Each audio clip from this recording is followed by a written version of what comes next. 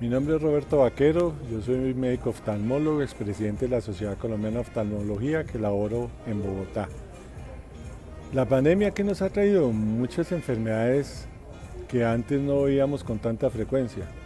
Han aumentado todas las infecciones perioculares, los orzuelos, todas las blefaritis y sobre todo el, ojo seco por el encerramiento que hemos tenido y el aumento de la virtualidad en la laboralización de todas las personas todo lo que han sido espasmos de acomodación, el cansancio ocular, es una consulta que día a día nos llega de los pacientes y un aumento que hemos visto en los defectos refractivos, muy seguramente por el aumento tan grande de la virtualidad.